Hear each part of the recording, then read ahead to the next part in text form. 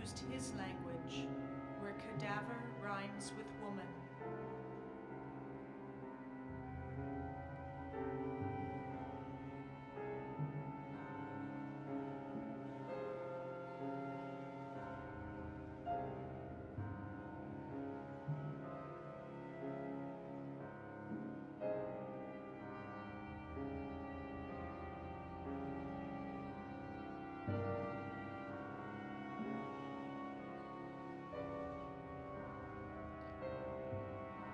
Replied to him in our language, where battle rhymes with birth, the kind